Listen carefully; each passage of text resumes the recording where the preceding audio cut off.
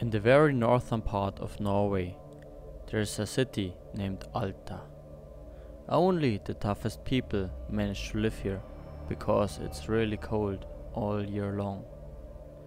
It's also known for the start of the Finnmarksløpet, the world's northernmost sled dog race. The special kind of people who are starting at this race have one thing in common. It's the nature and the dogs. They come from all over the world. It's from Finland, Sweden, Norway, Spain or even the USA. One favorite of this year's race is Thomas Wærner.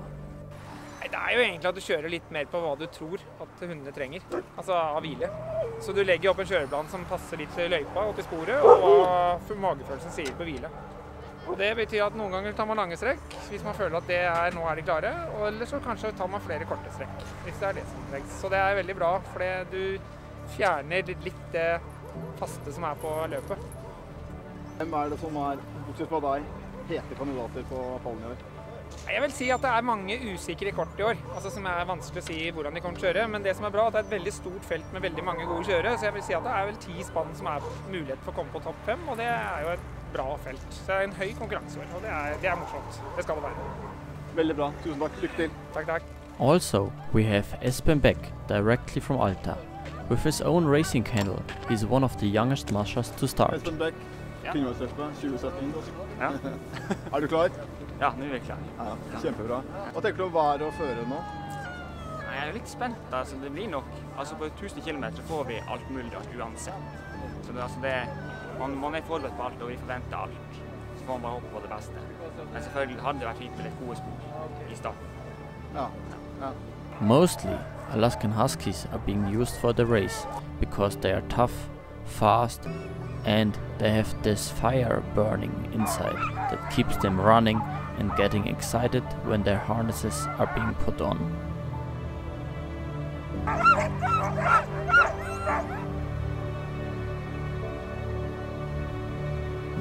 The lead dogs are being put in the front of the stakeout and then there's no going back.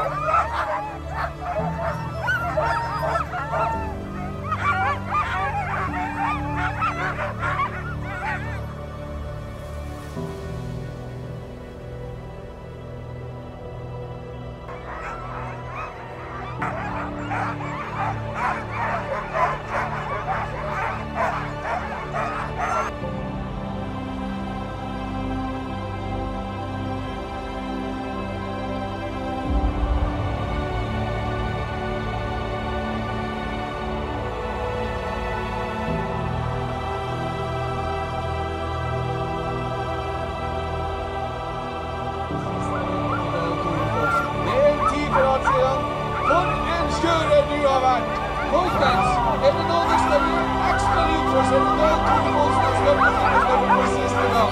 Så gjør han det på fem, fire, tre, to,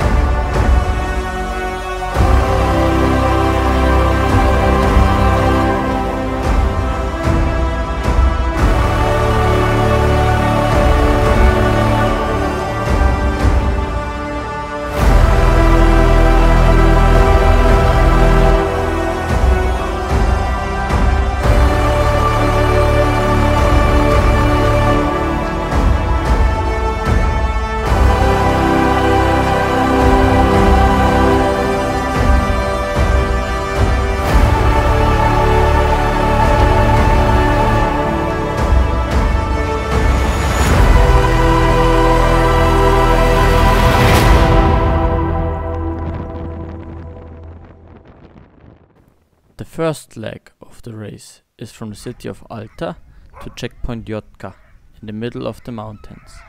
It's only accessible with skis or skidoos, and it's very windy and cold. The whole race is a big strategy game, and some mushers lay down straw and rest their dogs right at the beginning. On the other hand, some mushers just go full throttle and keep going. It mainly depends on the type of breed which the Mashas are running. Some breeds are very short haired and tend to freeze easily, so they have to wear jackets for resting, just like the humans are doing. But on the other hand, we have those long haired Malamutes, which don't even feel the cold. Mostly, they are a bit slower, but if something happens in the wild, they will survive for sure. In general, the well-being of the dogs is extremely important. At every checkpoint, there are veterinarians who are checking that every single dog is healthy and good to run. Hei, Pia. Hei. Finnmarksløpet 2017. Hva gjør du her? Eh, Jeg er her som eh, veterinær, frivillig veterinær. Og skal ta vare på hundene, sjekke at alle hundene har det greit. Mm. Hva er de viktigste oppgavene dere som eh, veterinærer har på løpet? Det blir jo å følge med på lagene kommer inn på sjekkpunkt, og følge med på hundene på sjekkpunktene. Sjekke om det er noen bekymringer som kjøreren har i forhold til om de vil ta ut noen hunder, eller eh, ja. Um, Sjekke spannene. Obligatoriske sjekkpunkter, så er det jo alle spannene som må sjekkes. Alle hundene i hvert spann må sjekkes. Mm, Supert. Da ønsker jeg deg lykke til. takk. At every single checkpoint, the runners from the sleds are being changed for brand new ones.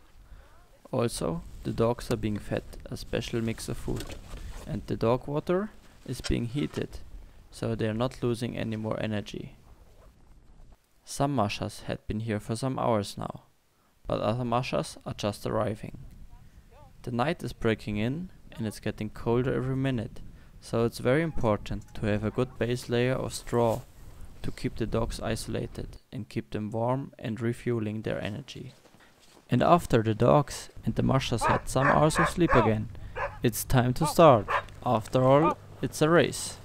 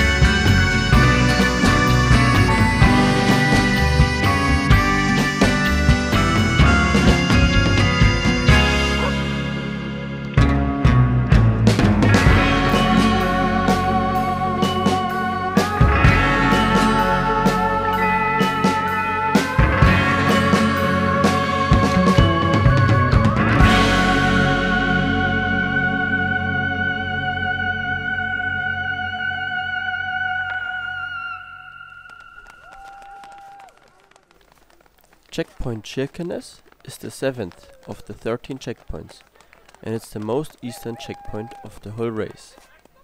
It also marks the middle of the race. If you make it till here as a musher, you already are a winner of the race because 553 kilometers of snowstorms and cold lays behind you. Thomas Wærner, vi er i Kirkenes, og dere har kjørt over halvveis. Hvordan er det å stå på sleden så lenge og ha kjørt så langt? Nei, det er ganske greit. Du har jo trent på dette mye, så har kjørt gjennomkjøringer. Så da er man jo vant til det, men eh, det er veldig godt med sittekassa man kan eh, putte rumpa på. Jeg er glad for den. Er det noe spesielt du gjør når du kjører sånn? Nei, altså jeg prøver å spare energi på både hundene og på meg sjøl. Ja. Det er jo det.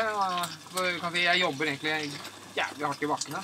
Ja. Altså med stav og sparker og løper og sånne ting. Og så roer jeg egentlig ned alle stedene jeg kan, jeg kan slappe av. Så samme gjelder egentlig hundene. Jeg maser ikke på hundene. Jeg lar dem bare gå pakkene, og så jobber jeg det jeg kan for å spare energi. da. Er det noen annen måte du motiverer hundene nå som de begynner å bli, har gått langt og du begynner å kjenne det? Nei, altså jeg holder stort sett kjeft. Mm. Det er, eh, jeg prøver egentlig ikke å si noe til hundene, og bare være positiv. Altså kanskje nynne litt en gang iblant, liksom, sånn bare for at de merker at, skal merke at jeg er der. Men eh, de går egentlig i den farten de vil sjøl, altså. Veldig bra. Lykke til videre. Takk. It is so far north and east of nowhere that this city really feels special. It's a mix of mining industry, Russian influenced restaurants and shops, and of course a lot of ice and snow. But the cold doesn't keep the visitors from watching the race. And so there's always a lot of people watching the races at the checkpoints, and for the people there are some really nice concerts with local artists.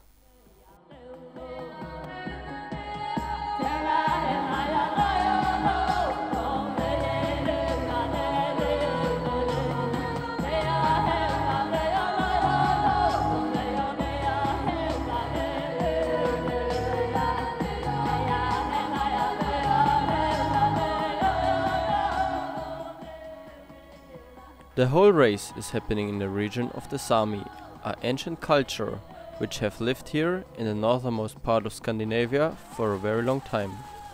They used to fully rely on hunting and fishing all year long, and they even have their own language, which is difficult to understand, even if you are from Norway yourself. Nowadays, they got a little bit more modern by using snow scooters for hunting, but the traditions are still the same. It's a special way of living. From now on, the race goes back direction west to Alta. But the problem is, it's not just easy going on the frozen rivers anymore. Now the tracks are going right through the mountains.